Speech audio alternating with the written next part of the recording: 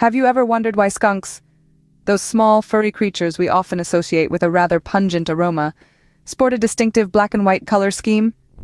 It's a fascinating tale of survival and adaptation, so sit back, relax, and let's delve into the world of skunks.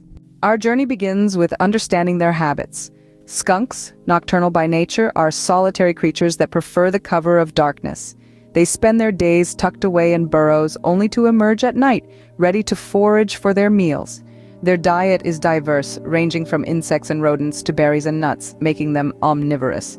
This broad diet is a testament to their adaptability, allowing them to thrive in a variety of habitats. Now let's turn our attention to their size and appearance.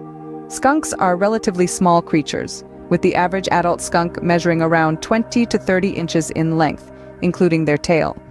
Their most distinctive feature, of course, is their black and white fur. This striking color contrast is not a mere fashion statement. Instead, it serves as a warning signal to predators, a visual cue that says, stay away or you'll regret it. Skunks play a vital role in the ecosystem. They are nature's pest controllers, keeping the population of harmful insects and small rodents in check. Their appetite for grubs and other pests makes them a gardener's ally, albeit a smelly one. Now, on to their lifestyle. Skunks lead a rather leisurely life. They're not the most active animals, preferring to waddle around rather than run.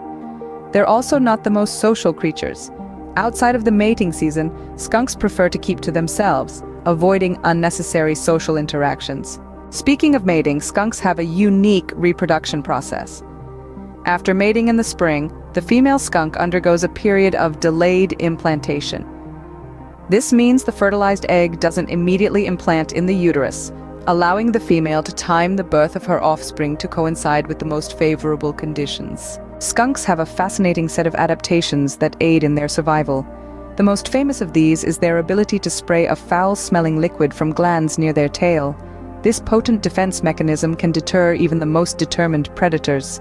As for their conservation status, most skunk species are not currently at risk, thanks to their adaptable nature and wide range.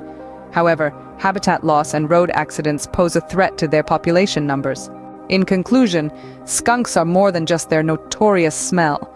They are complex creatures with unique adaptations, playing an essential role in our ecosystems.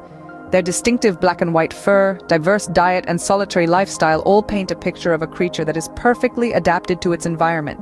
So, the next time you catch a whiff of that unmistakable skunk aroma, remember there's more to these creatures than meets the nose.